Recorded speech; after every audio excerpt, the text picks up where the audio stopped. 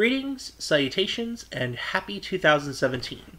Uh, this is Surfer Clock from What's the Attraction, and I apologize for the slightly lower quality um, of the mic uh, this time around. I'm not at the studio formally, I'm actually doing this from my home. Um, what I want to put together is actually a fed up kind of mini episode. This isn't going to fall into the canon, this is not an official What's the Attraction episode. This is me raw as I can possibly be, putting my feelings out there about something that I feel very strongly about. Um, and current events, I feel, have necessitated my coming out and saying this.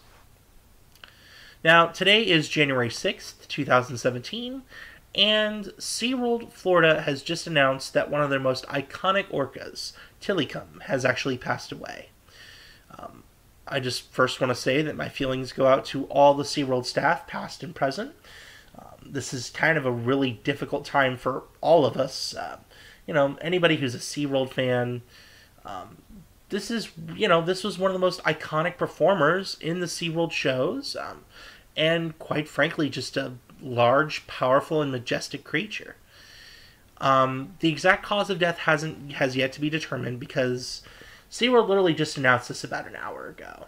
Um, you know, the death may have happened earlier it may have happened the previous day, but SeaWorld is opening their hearts to us and, uh, you know, letting us know that this happened.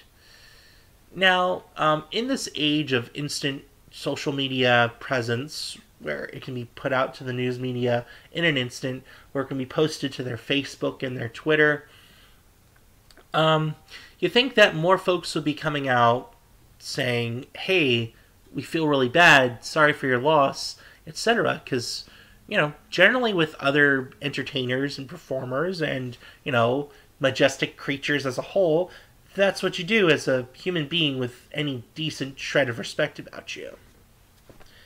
So, why is it that 90 to 95% of the posts on both Facebook and Twitter are saying that they are glad that Tilikum has passed away? Now, the why on this is pretty clear. You know, it's a fairly obvious answer these people have feelings that Tilikum was a slave to entertainment, was being psychologically tormented by his keepers, and, um, you know, they finally feel, hey, Tilikum is free now, free from a long life as a slave in a bathtub, yada yada, etc. What I want to know is if somebody's dog dies, you know, they post about it on their Facebook and or Twitter do you, do you people also come out there and go, "Oh, it's great. Your dog is free from your captivity. He's no longer a slave to your leash. Hey, this is a great thing that happened." You wouldn't do that, would you? I mean, just ask yourselves, as decent human beings, would you do this to another fellow person? No, but you'll do it to a big multinational corporation with thousands of employees whose lives you are, no doubt, severely impacting. Do you think people really want to hear this kind of rhetoric at this really tough time? No, they don't. Um, you may want to hear it, and it may sound great coming out from your keyboard, but do you really think that SeaWorld wants to hear this right now? I mean, and yes, now, oh, before y'all start attacking me in the comments section, um, saying, yes, they are slaves, yes, bathtub, yes, Tilikum is now free, yada yada, etc. Just hear me out on this anyone with a decent shred of human dignity is going to allow time for SeaWorld and or your best friend whose dog just died to mourn the loss. You know. And then if you want to express your opinions after they have passed, uh, after enough time has gone by, then, you know, more power to you. You have your right to your opinion. Whether that opinion is right or wrong is up for debate on social media message boards and everything else. But the reason why that this is kind of a fed up episode is honestly it's just not right for you to come out and attack SeaWorld so viciously after this has happened. You know, be it human, orca, anything. This is still a member of their family. Now, whether you want to, you know, come out and say, oh, but you stripped him of his family and do this and do that, it's still not respectful and it's still not right to just come out and so viciously attack SeaWorld like this. You know, if and now if you're listening to this, you have that opinion and you haven't posted just yet. I'm just gonna, I'm offering an impassioned plea to you. Don't do it. Yet. Again, I respect your right to have this opinion. I respect that not everybody thinks that SeaWorld is this great company that does a lot of great work. I respect your opinion. I respect your right to be able to put that out wherever you want. But I only ask that you give SeaWorld, okay, give SeaWorld 24 hours. You know, they just put this out at 11 a.m. today. Give them at least until 11 a.m. tomorrow to go ahead and uh, you know, mourn the death of one of the members of their family just out of decent human respect. Just have some respect. You know what I mean?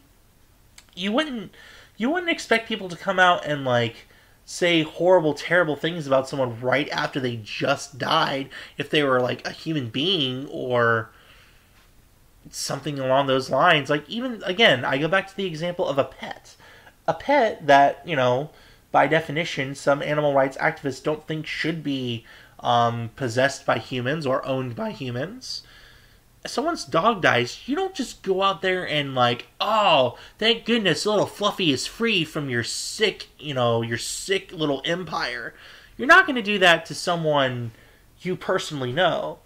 So why are you going to get behind your internet name your organization and relentlessly attack this company that, by the way, does do great work. Even if you don't think they should have orcas and dolphins in captivity, they rescue, rehabilitate, and release so many animals. Um, so, again, my you know, now you know my opinion, um, and I'm not just doing this to viciously attack the animal rights activists. Um, I just ask that no, have a decent shred of respect for your fellow man, for the creatures that you so advocate for the freedom for. And again, you know, if you've already posted what you've posted, the damage is done. You know, you're going to believe whatever you want to believe, and you're going to do whatever it is that you want to do. And you know what? That's fine. You're welcome and you're welcome to have that opinion, and you're welcome to be incredibly and extremely insensitive at a very sensitive time you know what? That's just the way some people are. And some people feel it's justified because of what SeaWorld supposedly did. But if you haven't, if you've been holding back, if you're trying to pile up this great big snarky, terrible post that's gonna, you know, rend some people to tears, you know, people that have long taken care of Tilikum then I'm just going to ask that if you're going to do it, that you at least wait 24 hours. 24 hours, that's all I'm asking. You know, post whatever you want. You have the right, you have the freedom. Just wait a little bit. Give them time to mourn the death of one of their own. Again, you wouldn't do it to your best friend, so why would you do it to a big national corporation with hundreds of people working for it? This is Surfer Clock, and I'm fed up.